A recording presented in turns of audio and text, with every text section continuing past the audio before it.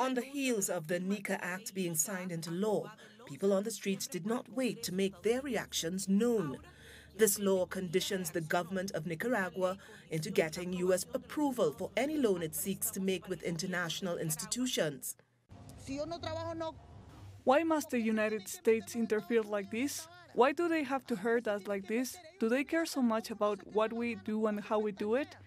I get up at 4 a.m. and wonder how am I going to pay for my bills. I'm haunted by all the issues I have to deal with. And despite the political crisis, this year has actually been good for me in comparison to other years. I don't know who those who agree with these sanctions are, but they can be Nicaraguan. They are traitors. The NICA Act was pushed forward by Cuban American members of the United States Congress. It was first brought forth in 2016, and it received the support of the Nicaraguan opposition, who were also allegedly behind recent coup attempts in the country. This new law could seriously affect lives of everyday citizens.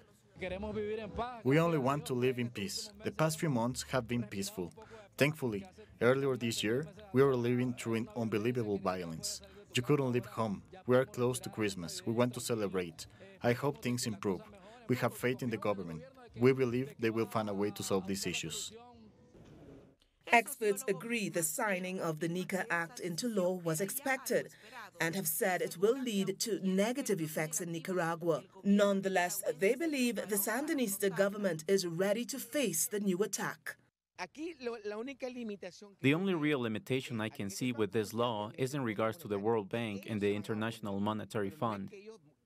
But they won't get the last word. The opposition doesn't even have 50% of the votes to stop the government. Those traitors, they have always been linked to easy money, to political money. They see themselves trapped. So we should have expected they would do something like this.